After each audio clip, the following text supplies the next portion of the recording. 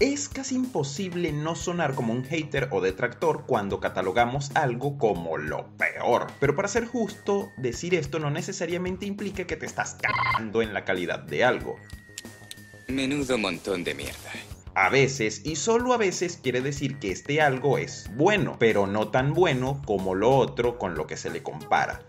God of War Ascension es la prueba de esto, y es que a este título se le encomendó desde su concepción la casi imposible tarea de impactarnos y dejarnos sin aliento luego de la caída del Olimpo. Hoy te diré, en mi humilde opinión, qué fue lo que falló y por qué God of War Ascension es lo peor de lo mejor.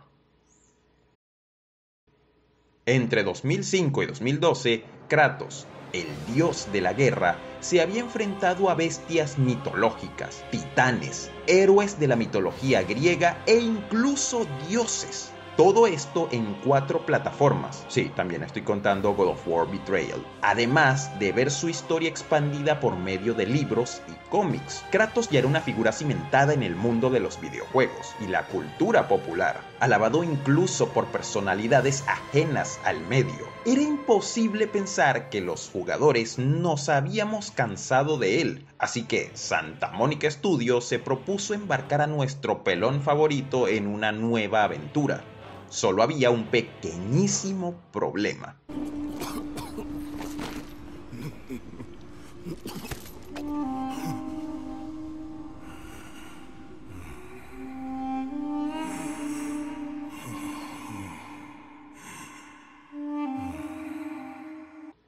Y bueno, sí, es cierto, la muerte de Kratos se había puesto en tela de juicio en el mismo juego en el que había muerto, pero revivirlo tan solo tres años después de haberlo matado habría sido muy apresurado y los mismos desarrolladores lo sabían, así que solo había un camino que tomar, el de la precuela. God of War Ascension nos cuenta la historia de cómo inició el viaje de Kratos, en este juego, Kratos debe romper su lazo con Ares chuleteando a las furias, las guardianas de juramentos. Para eso, el fantasma de Esparta contará con el apoyo de Aletheia, el oráculo de Delfos, y de Orcos, el hijo de las furias. Además tendrá diferentes objetos como los ojos de la verdad, ese medallón que controla efectos del tiempo en las construcciones y la caracola mágica que nos permite clonarnos. Aunado a eso tendremos algunas magias que nos facilitarán el enfrentarnos con clásicos bichos feos que nos tratarán de frenar. Estas magias son la de hielo de Poseidón, la de almas moradas de Hades,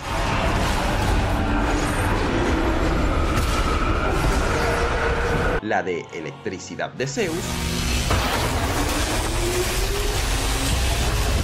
y la de fuego de Ares.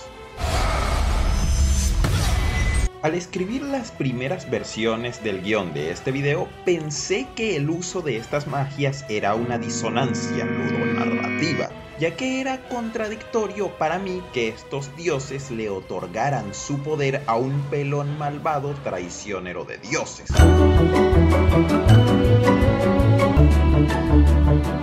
Pero luego vi que esas magias son bendiciones o algo así que estaban ahí para ser utilizadas por cualquiera que buscara la verdad. Y bueno, no es la mejor justificación de la historia, pero se salva de ser una incoherencia por esa vaga explicación. Aunque sí me parece que el tema de las magias lo resolvieron de la forma más sencilla posible, dándonos versiones menos interesantes de los ataques que vimos en el primer God of War. Pero bueno, no se puede exigir mucho a la historia de este juego, ya que desaprovecha la oportunidad de explicarnos cosas como ¿qué hizo Kratos para convertirse en el campeón de los dioses? ¿Por qué estos lo aceptaron a pesar de que rompió su pacto con Ares? ¿Cómo empezó la relación entre Kratos y Atenea? Pero en lugar de eso, hace un poco más complejo entender algunas cosas, ya que no parece importar mucho que Kratos termine el juego matando a las guardianas de los juramentos de los dioses sin que nadie se entere nunca de que ellas iban a traicionar al Olimpo junto a Ares. Lo peor de todo es que los únicos que podían corroborar esta traición eran Orcos y Aletheia, los cuales mueren en el transcurso del juego. Y sí, Ares era violento y sanguinario, pero era parte del Olimpo, y lo siguió siendo luego de su muerte, y eso lo pudimos ver en God of War 3. De hecho, si Kratos quería liberarse del control de Ares, ¿no hubiera sido mejor que al final del juego este hubiera aparecido con orcos ante un Olimpo desconfiado y hubiera contado todo sobre la traición de Ares y que a pesar de todo hubiera tenido que chuletearlo para romper su juramento frente a unos dioses que no podían hacer nada para evitarlo? Eso habría sido más interesante, habría sembrado una pequeña desconfianza hacia ellos y mostraría que su poder era limitado. Otros elementos interesantes pero que no llevan a nada son el anillo y la pulsera que les da Orcos a Kratos. Estos objetos son sumamente importantes para Kratos, pero no vuelven a aparecer nunca más a pesar de que hay 8 juegos después de este en la historia ni siquiera en la saga nórdica, donde se hace alusión a innumerables eventos de la saga griega. Por el amor a Zeus, Kratos atesora la bolsa donde llevaba las cenizas de su esposa muerta y no me puedes mostrar que guardó el anillo y la pulsera de su familia anterior a pesar de que esto se mostró en un juego que salió previamente. Guardó su falda y no guardó esto. En fin, Aunado a todo lo antes dicho, el juego pudo ser también la oportunidad de ver a otras criaturas, como Esteno, la gorgona que faltaba, quien debió ser un jefe de verdad y no solo parte del multijugador.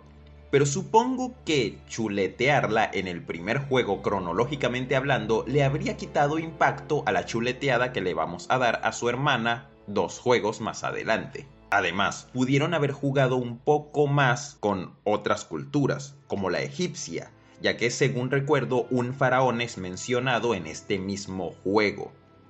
Pero bueno, según recuerdo, Santa Mónica Studios se centró en la creación del multijugador, y quizá eso hizo que no se enfocaran tanto en la historia. Como digo, esta no es mala, pero pudo ser mejor, y es algo que se nota debido a que ellos mismos la cuentan desde el final con saltos temporales para hacerlo más interesante, como lo hicieron con el primer juego. De haber empezado por el comienzo del juego, habría empezado con Castor y Pollux. Y bueno, no está mal, en serio, de hecho me arriesgo a decir que esta pelea es la mejor de todo el juego, pero recordemos cómo empiezan God of War.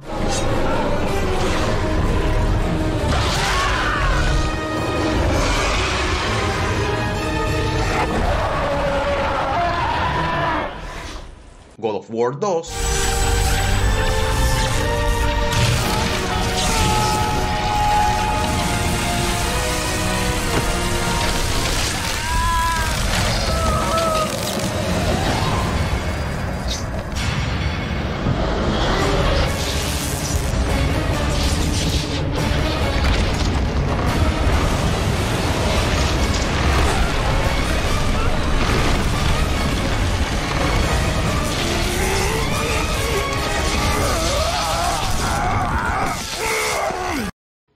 God of War 3.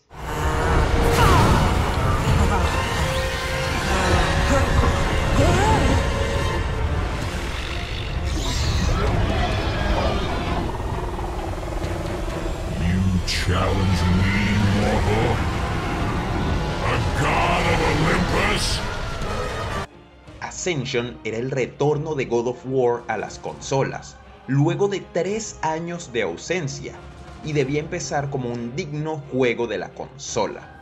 Por eso Egeón y Meguera son los primeros jefes, para que entonces tengamos un abrebocas épico y frenético. O al menos eso debí sentir. Para mí la iluminación y los planos generales resultan muy incómodos en momentos cuando debemos pelear ya que es un poco difícil hallarse en escenarios tan caóticos. Por suerte, eso solo me pasó ahí y en esta parte en la que debía chuletear a montones de enemigos. De resto, todo bien, ya que si hay algo que aplaudir de este juego son sus mecánicas de combate, que se mantuvieron casi intactas durante todo el juego. En efecto, se agregan elementos nuevos, como las armas que sueltan los enemigos, que yo solamente agarraba para lanzarlas instantáneamente ya que no me gustaban, y también la mecánica del esquive en los Quick Time Events, que me pareció algo acertado a pesar de que no es la invención más grande de la humanidad. Estas mecánicas se agregan a cuentagotas, y aunque no cambian el juego radicalmente, tampoco lo dañan, y por lo menos se agradece el intento.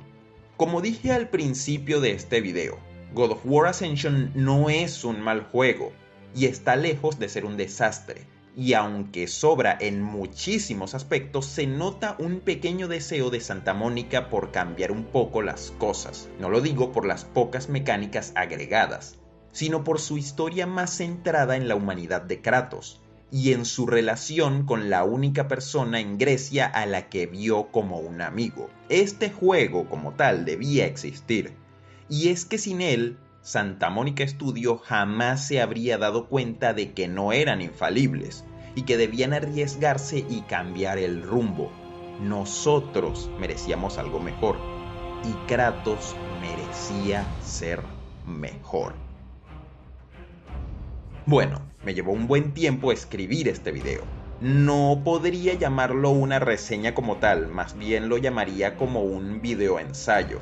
Esto era algo que quería hacer desde hace un tiempo. Sé que es un tanto diferente, pero me encantaría que lo apoyaran si les gustó, que le dieran like, que lo compartieran si es posible. Y bueno, si no estás suscrito, suscríbete, por favor. Como me gustó hacer este video, otros videoensayos vendrán. Y espero que les guste este nuevo contenido rico. Les mando un beso. No un homo desde la distancia.